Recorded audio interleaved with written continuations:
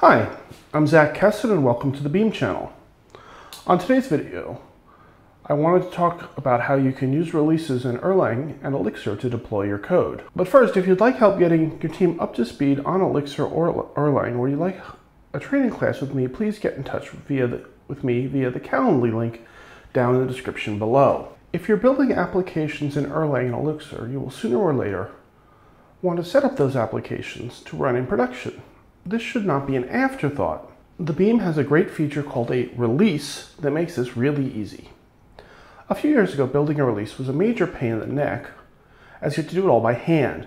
Thankfully, both Rebar 3 and Mix have made this much easier in the last few years by automating the process. A release consists of everything your application needs to start up. This includes the Beam files, configuration, application's priv directory, and even the Erlang runtime. To build an release an Elixir, add the distillery to the dependency section of your mix file.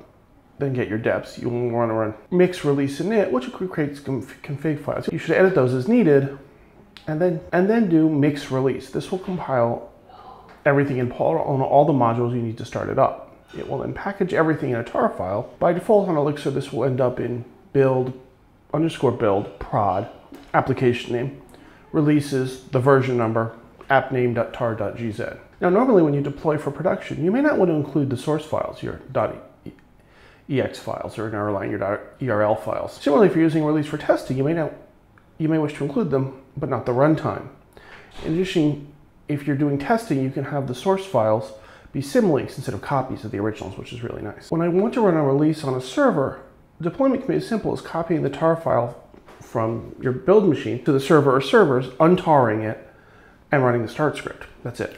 As the system grows, you may wish to add things like Kubernetes, but for simple systems, a simple SCP copy can and does work quite well. I often just put it in a make file. To run a release, untar the file on the target system and look in the bin directory. you will find a binary with the name of your application in it. So run my app start, and it'll start in the background. That's it. If you want it to start in the foreground, you can run my app console, and there are options for more or less the complete range of things you might want to do, including attaching console to a running system, checking if it's running, stopping the system, restarting it, all those good things. Also, when a release starts, it is a bit different from when you start IEX or the Erlang REPL. In that case, runtime won't load modules until it needs to. In a release, there's a file which tells the runtime exactly what files to load.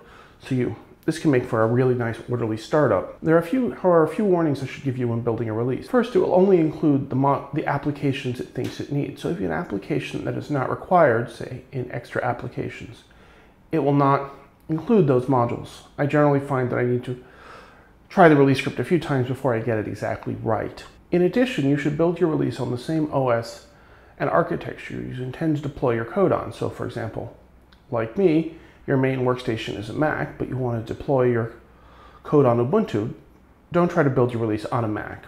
Use a virtual machine. I would use the same exact OS release. So if you want to deploy on Ubuntu 18.04 LTS on Intel, build on that. You can find full details on all the options and defaults in the documentation, documentation page for Rebar 3 and Distillery, so you can go there and get all the details. I'm not going to bother to list them to you. It's not particularly useful. I hope you found this video useful. If you did, please subscribe, like, and share this video. I also love hearing from folks and love your suggestions. If, and if finally, if you'd like help getting your team up to speed with Erlang or Elixir, please hit the Calendly link in the comments and we'll set up a time to talk.